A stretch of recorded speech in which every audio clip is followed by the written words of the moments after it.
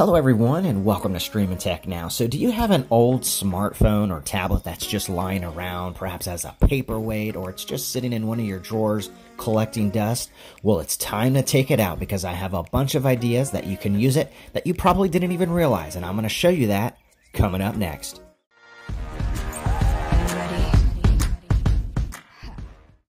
First up is to use it as a webcam. Now, phones have solid cameras for the better part of a decade. In fact, that it's possible that your old phone hiding in your drawer has a better camera than your current laptop. So there are easy ways to use your old iPhone or Android device as a webcam for your computer. Depending how old your phone or tablet is, you could simply use yours as a dedicated video calling tool. You can install Zoom or Teams for easy access to the most popular video calling apps or use the built-in options like FaceTime or Google Meet.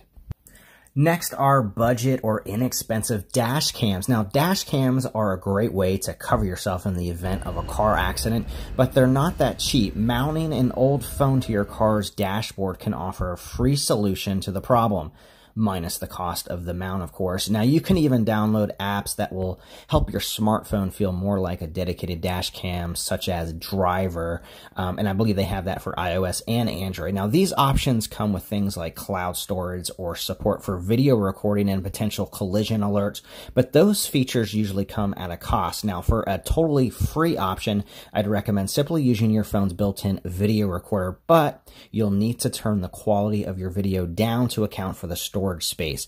You probably don't need to capture all of your travels in 4K when 1080 or 720 will do just fine. Now, when someone cuts in front of you and claims it was your fault, you'll have video evidence to prove otherwise. Next is a dedicated DJ device, provided it has a headphone jack still. Now, if your phone is on the older side, chances are it might still have a headphone jack, and that makes it an easy choice for a dedicated DJ device. Whether you want to connect to a speaker at a party or you're riding shotgun in your friend's car, you'll have both Bluetooth and aux to work with to play the music. While Spotify won't work with iPhones that can't run at least iOS 13, it does support Android devices all the way back to version version 5.0. Now, if you have an iPhone running iOS 12 or earlier, Apple Music might be your best bet. Now, a tablet isn't quite as portable, but since many of them still have headphone jacks to this day, it can provide the same convenience as an old phone when listening to music at home. So next up is a dedicated Netflix or streaming video machine. Now tablets are great media streaming devices and that doesn't necessarily change when they get old. As long as your streaming services still support the device, you can enjoy your favorite shows and movies on your tablet, even after its manufacturer has stopped issuing updates. Even if popular services stop supporting your device in the future, you'll still be able to play previously purchased shows and movies from first party stores such as iTunes, iOS, iPad OS, and the Play Store on Android. Now, if you have videos from other sources, open source video players like VLC are a great solution. Next is a smart photo frame. Now, an old tablet or even an old phone can be repurposed to show specific ever-changing information at all times. Now, maybe you want a dedicated weather machine to know what the forecast looks like throughout the day, or maybe you want a smart calendar. I think the best use case here, however, is a smart photo frame. Instead of purchasing one of these devices outright with their clunky user interface, hit and miss display quality, you can use your old tablet to show off your favorite photos. Now, the Photos app on your device even if it's old, typically is much better than the software you'll find on a smart photo frame. So next up is a smart home controller that anyone can use. Now, if you own smart home products, you know how fun they can be to play around with. I mean, nearly every appliance in your house that runs on electric has a smart version to it. If you go all in, that's a lot of devices to manage all at once. Now, to control all of this smart technology, you could rely on apps on your current smartphone and tablet, but there's one issue. Without access to your phone or tablet, it's difficult to control the smart devices.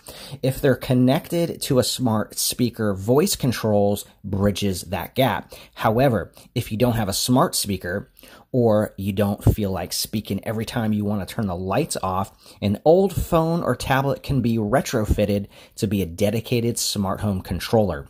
Simply place that device out in the open in your home, accessible to anyone who needs to control your smart devices. With a few taps, they can tweak it without needing to use your primary phone. Next, how about a universal remote for your home entertainment setup? Why stop at a smart home? In a similar vein, you can set up your phone or tablet as a universal remote for your TV, streaming devices, game systems, and whatever else you have connected to your home entertainment setup. Leave the device on an end table for easy access so anyone looking to watch TV or play a game can pick up the old phone or tablet and do so. There are tons of options to choose from to turn your device into a universal remote like TV remote for iOS and Android. Now, depending Depending on your devices, there might also be first party options such as the Roku app or the Apple TV Remote Control Center tile on the iOS and iPad OS. You can even control PlayStation and Xbox. All right, your old car now has CarPlay and Android Auto. So my car doesn't have CarPlay or Android Auto or any sort of multimedia display for that matter. I've got an old car. So I'm a big fan of using a smartphone as a replacement. Now, I use a wireless charging car mount, connect my phone via Bluetooth, use it for GPS, music, and other hands-free communications. Now, the same applies to tablets. However, if you have a tablet that you aren't using at home much, you could use it as a big screen screen solution. Now, a smaller tablet like an iPad mini might work much better, but as long as the device doesn't block your view of the road or critical controls, etc., you'll be good to go. Next, how about a child-proof digital babysitter? Now, for parents, a spare smartphone or tablet can be the perfect child-safe device. If it isn't brand new, you don't have to obsess about it getting damaged. And at the same time, most smartphones and tablets have had parental controls forever, which means you can set up the device with all the restrictions appropriate for your kids. Now, just as an old phone or tablet can be the perfect media consumption device for you, it can be exactly what you need when your kids are begging to watch their favorite shows or play a game and your newer gadgets are being occupied. And finally, spying on your pets. Now, while your phones and tablets make great webcams and dash cams, they also make for a reliable security camera for your home. Now, you can download an app like Alfred Camera for iOS or Android on both your current phone and your old one to establish a connection between the two. Place your old phone on some type of stand and you'll have 24-7 access to its camera feed. It's a great solution for keeping an eye on your pets or any part of your home for any reason. Now, these apps typically will charge extra for features like HD video and saved video recording, but the free tiers typically offer standard quality video access at all times. And similar to the dash cam, you could also just record the room while you're away, then review the tape when you return. Well, there you go. There are a few ways that you can use your old phone or tablet. Let us know in the comments if you have some other suggestions. What do you use your old phone or tablet for? Thanks so much for joining us today, and we'll see you next time on Stream & Tech Now.